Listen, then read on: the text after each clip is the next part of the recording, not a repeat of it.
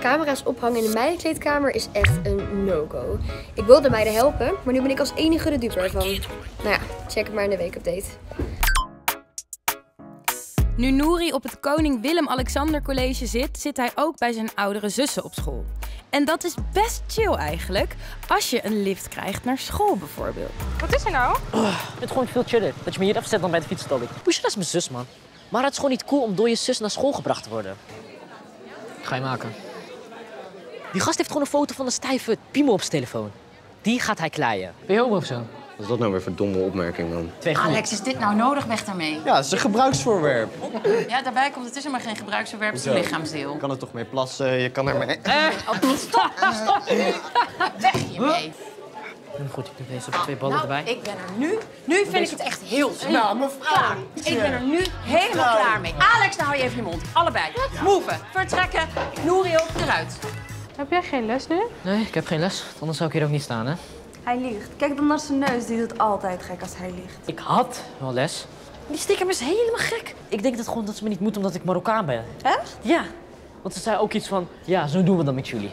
Dit kan echt niet wat u aan het doen bent. Misschien heeft u gewoon de pik op hem, omdat hij Marokkaans is. Kijk, Noor is hartstikke lief, Ja. hè? Hij heeft hier gewoon een piemel staan kleien in de klas, hoor. Wat? Nee, nee, nee, nee, nee, nee, nee. Ja, wel. Je hebt... Nee, dat is weer... Serieus? Nou, Ja, oké, maar het was gewoon een geintje. Een geintje. Hoe oud ben jij? Even serieus. Nouri, Ja. dit is wel de consequentie van jouw gelieg. Je zussen die be- beschuldigden mij van discrimineren. Die denken dat ik racistisch ben. Echt? Je snapt zelf ook dat het niet kan, hè? Nee, ik snap het wel. Ik zal het volgende keer ook, zal ik het niet doen, maar... Nee, fijn. Dat zou heel fijn zijn. Wat zei Steenkamp? Ja, ik zei dat ik eh, de volgende les normaal mee ga doen. En heel leuk en aardig allemaal, dat je denkt dat je overal mee wegkomt. Maar dat is niet zo bij mij.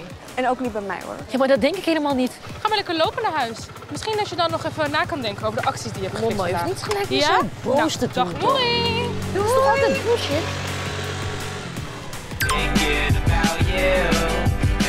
Farid heeft woensdagochtend het eerste uur Nederlands van meneer Volmers.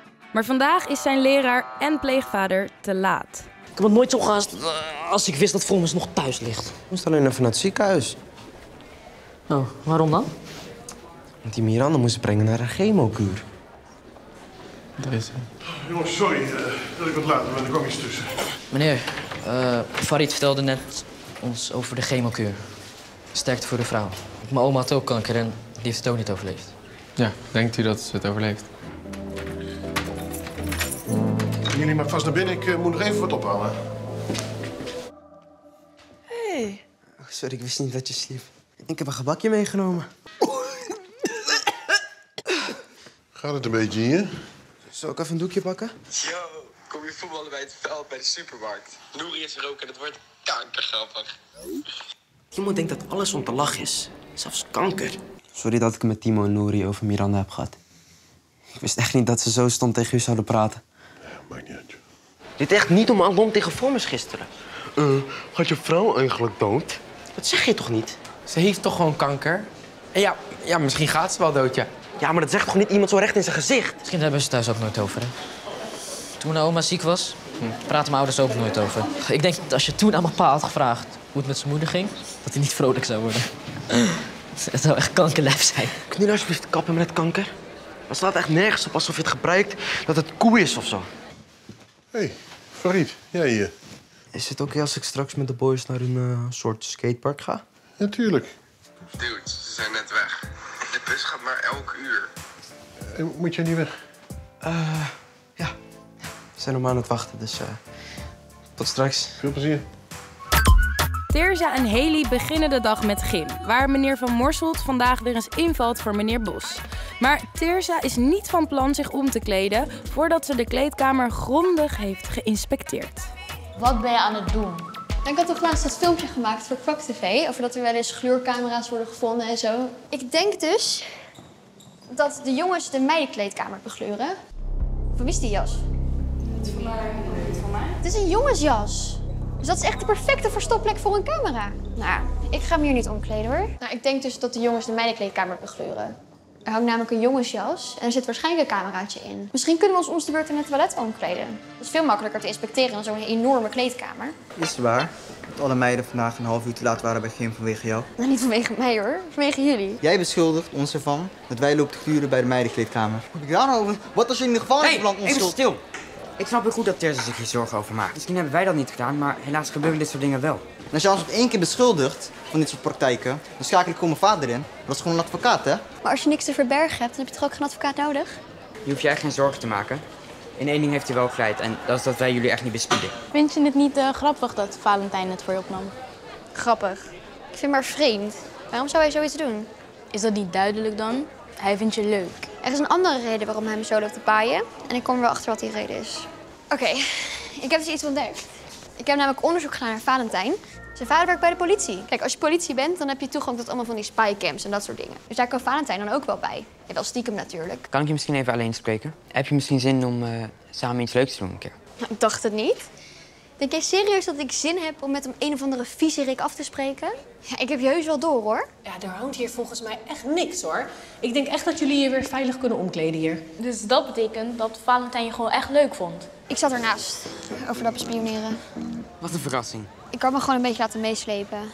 Maar ik wil het echt heel erg graag goed maken. Ik neem hem voor je op tegen Abel en die andere jongens.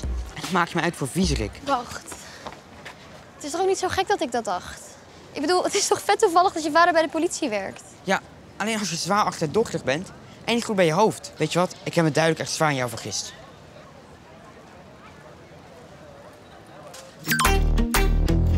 Timo en Rick hebben straks samen scheikunde. Maar sinds Sofie het heeft uitgemaakt met Rick is hun vriendschap een beetje awkward. Ik vond Rick altijd wel lachen.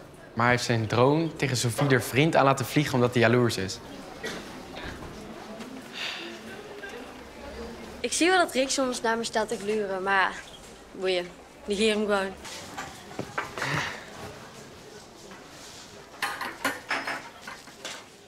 Mevrouw, hoort het zo? Wat? Nee, Timo, Timo, Timo, ga weg, ga weg, ga naar achter, ga naar achter. Jullie ook, weg. Zou- heb je zoutzuur? Timo, je weet toch dat je nooit, maar dan ook nooit zelf het zoutzuur mag pakken? Ik had dat zoutzuur niet aangeraakt. Dus dat was wel duidelijk dat iemand wat probeerde te flikken.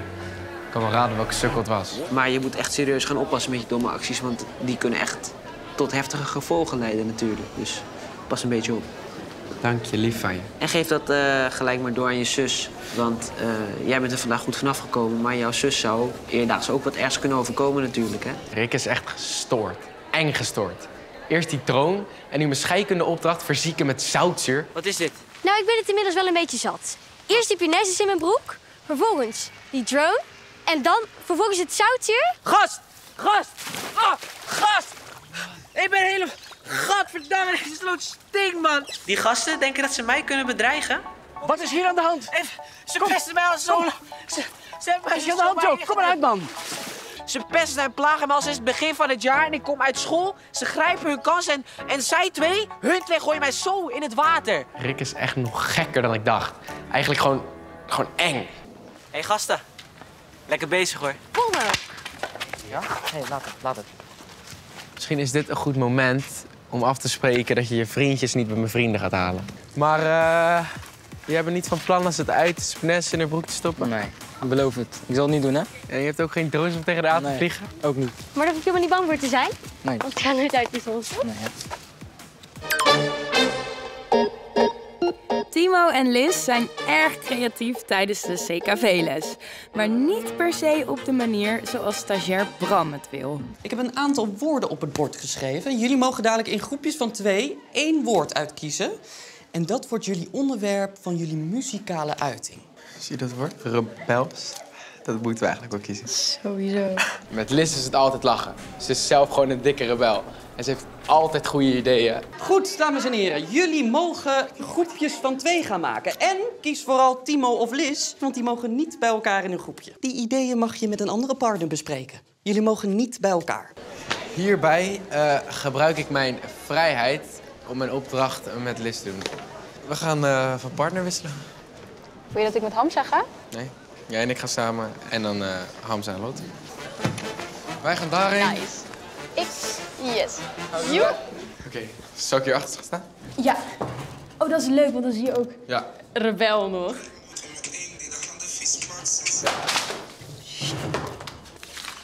Timo. Kijk dit. Er staat ook een website bij. No way. Hij is gewoon model. Hij... Half naakt. Best wel eh, kunstzinnig, al zeg ik het zelf. Hoe halen jullie dit in je hoofd? Jullie zijn met z'n tweeën in een groepje gegaan. Jullie hebben privéfoto's van me opgehangen en ook nog eens door de hele school. Het zijn geen privéfoto's, want ze staan gewoon op een website. Dus iedereen die ze had willen opzoeken, had dat gewoon kunnen doen. Dit kan niet.